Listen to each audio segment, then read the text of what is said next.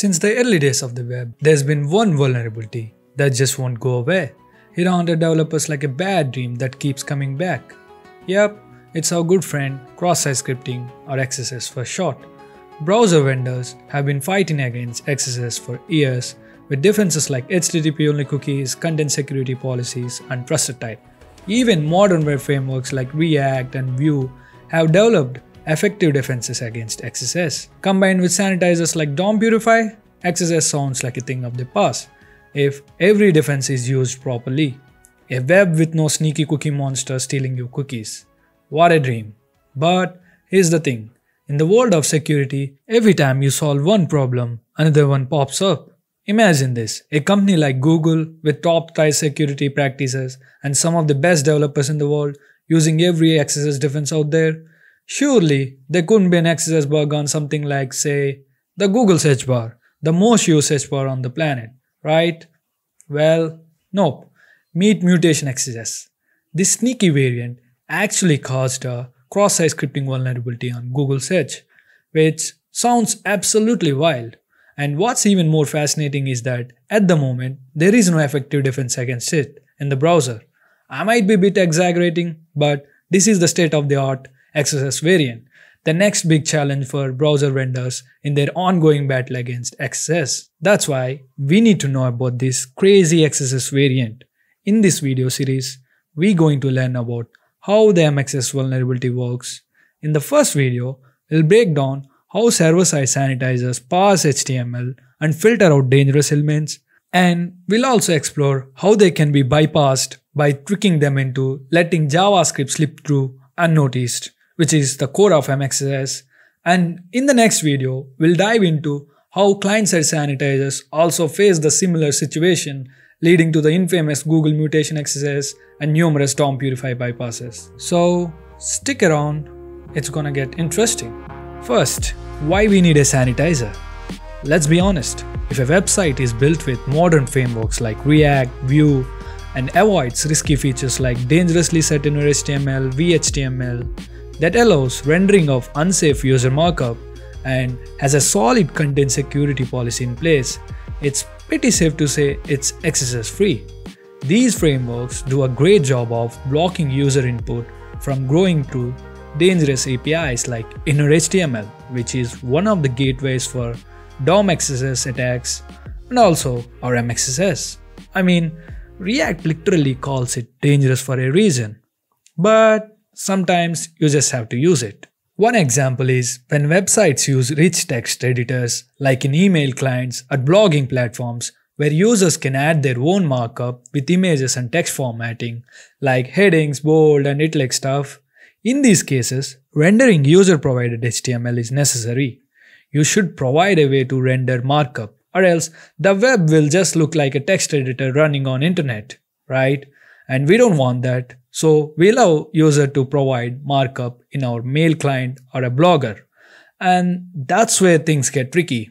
What if a malicious user submits HTML that executes JavaScript in an email? That's a major problem and we don't want that. This is where sanitization comes in. Developers have to carefully strip out any dangerous elements or attributes from the HTML to prevent cross-site scripting from sneaking in. Now let's see how to perform this sanitization. To sanitize user markup, the first step is to transform the dangerous HTML markup into something easier to work with. That's where a parser comes in. It takes the raw HTML string and turns into a tree structure. This data structure allows us to efficiently go through each element and attribute, checking for anything potentially dangerous and removing harmful elements to ensure the content is safe. Let's take a basic example of how sanitizers work through this pseudocode. Here we have some dangerous HTML markup from a user. Using an open source parser or the browser's built-in parser like DOM parser, we transform the HTML into a tree structure then we loop through the tree, scanning for risky elements, things like event listeners, href attributes, or dangerous tags like script tags, and if we find any of these, we remove them. Once the sanitization is done, we convert the DOM tree back to a serialized string and send it to the browser for rendering. And that's essentially how any HTML sanitizer works. From the looks of it, sanitization looks like a very easy problem. Just remove dangerous elements and you're good to go. But it's much more harder than that. Let's see why. After sanitization, the cleaned HTML string is usually inserted into the website DOM or the page using the inner HTML API. Or if you are using React or Vue, you use dangerously set inner HTML or VHTML, which again, they use the same inner HTML API. And what actually happens inside this inner HTML API is the browser parses the markup again using the HTML specification, converting into a proper structure before handing it over to the rendering engine for painting. You can't just throw a random string at the browser and expect it to render the page. It needs to be parsed first in a well-formed data structure to be properly executed and painted.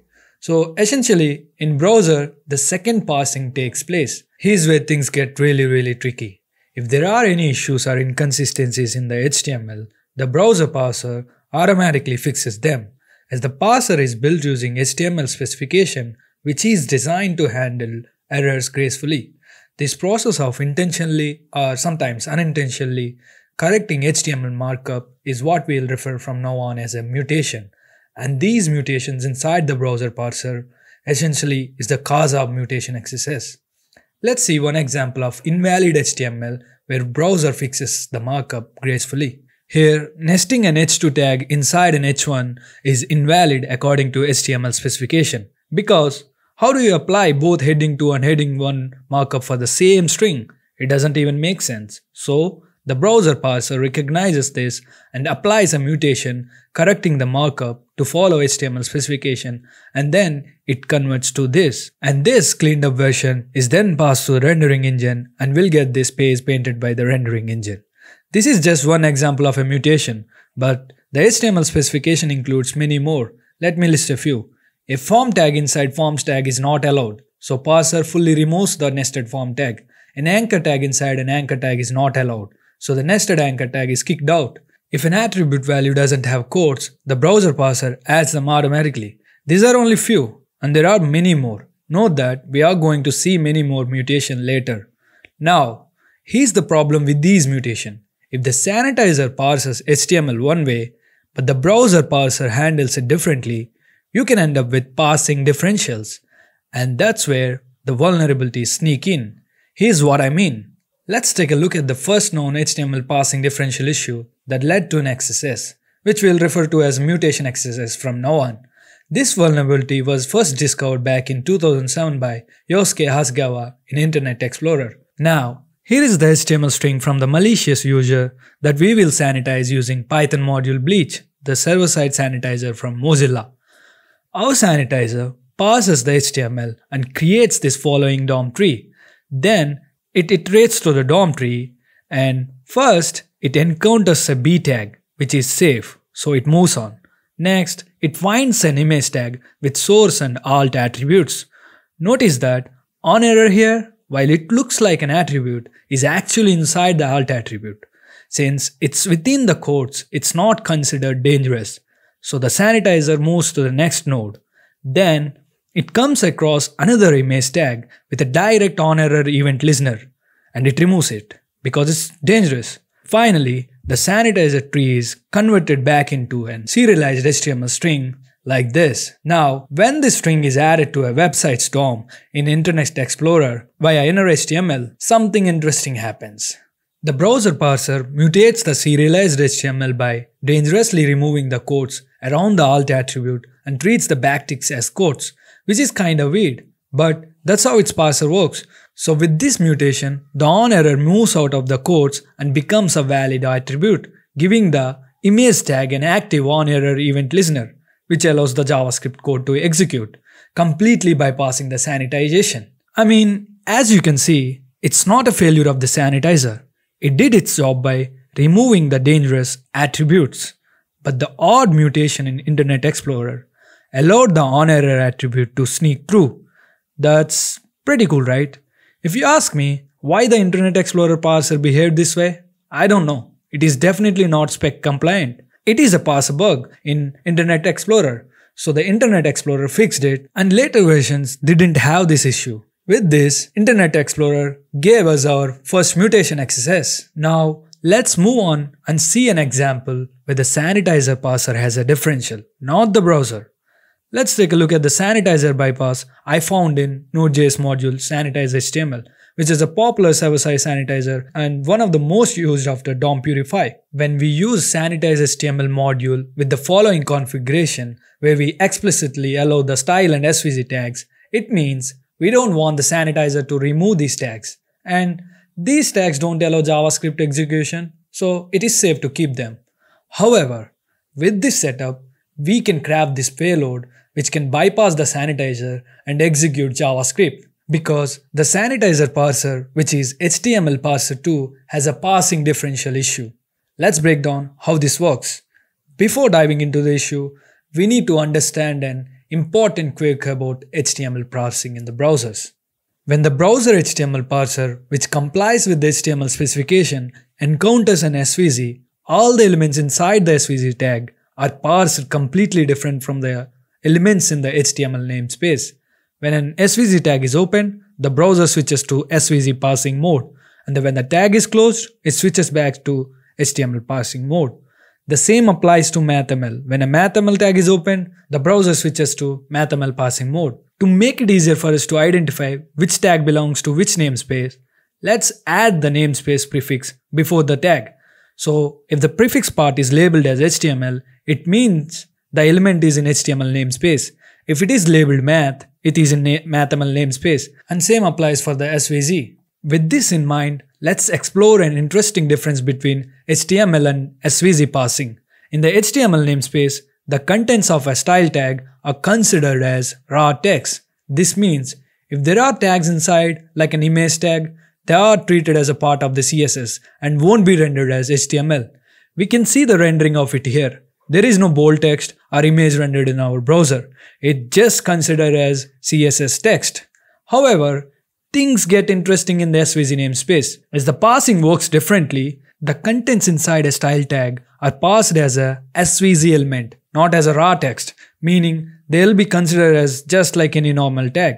So, here, the image tag and the anchor tag and bold tag are all considered as valid markup and they will be rendered as a tags, not as style tags text content. This is a very interesting and important distinction between the HTML SVG and MathML namespaces. Take a moment to pause the video and try to fully understand the difference by experimenting with it on this website. We are going to use it in many other sanitizer bypasses.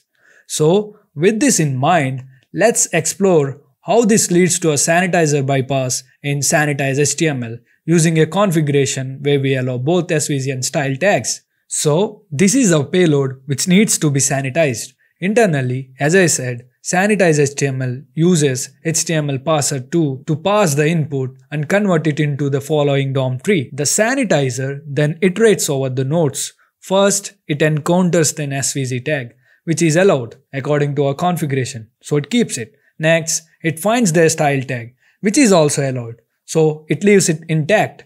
Here's where the problem arises. HTML parser 2 is not namespace aware, meaning it treats everything as if it were in the HTML namespace. Because of this, it interprets the image tag inside the style tag as just text, not as a tag. So the sanitizer keeps it, thinking it's harmless. The final sanitized output looks like this.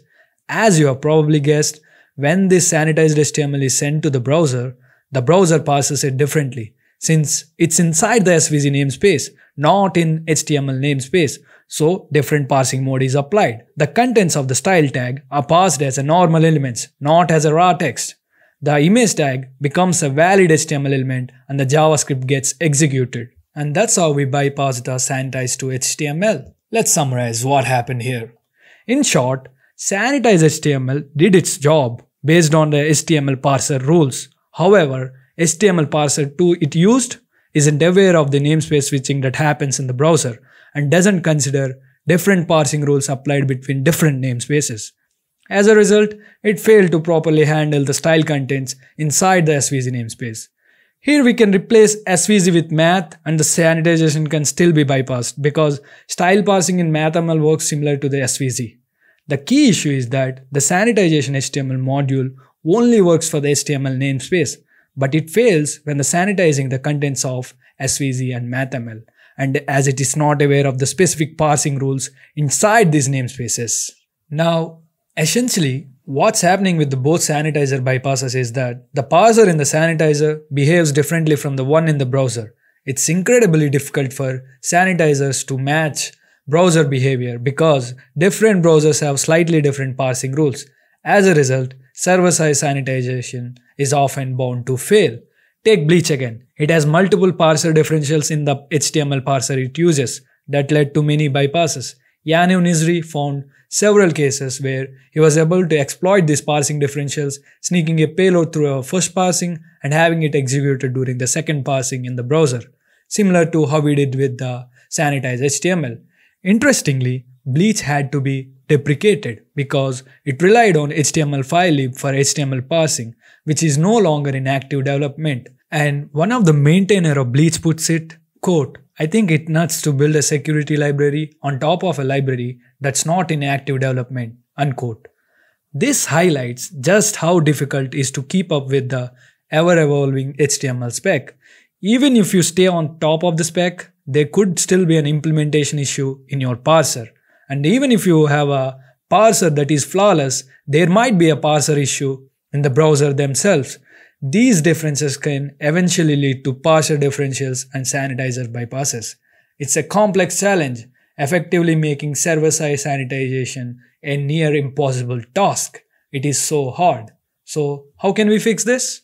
The simplest solution would be to move the sanitizer from the server to the client using the browser own parser. This could solve many of these issues. Actually, it can solve all the issues we discussed. There would be no partial differentials because we would be using the same parser for sanitizing that the browser uses for the rendering. It's a straightforward fix. Let's replace sanitize HTML's HTML parser 2 with the browser's DOM parser. Let's see if it fixes the sanitize HTML bypass. Here, SVG is safe, so it's kept. The style tag is also safe, so it's kept. But now the image tag is not treated as just text because DOM parser and the inner HTML parser are the same. They recognize it as an actual image tag. As a result, the on error attribute is correctly removed. Now using the exact parser as a browser eliminates many of the parsing discrepancies. Even the strange mutation behavior in Internet Explorer wouldn't be an issue because DOM parser would correctly handle the on error attribute just like the IE's internal parser does. And fortunately, we don't need to build a client-side sanitizer ourselves. There's already a highly reliable and widely used one called DOM Purify, developed by Mario Heiderich, one of the pioneers in mutation XSS. So, are we safe now with the client-side sanitizers? No more worries about server-side parser differentials. With client-side sanitizers, the XSS should be finally the thing of the past. Well, we'll find out in the next video. Until then, peace.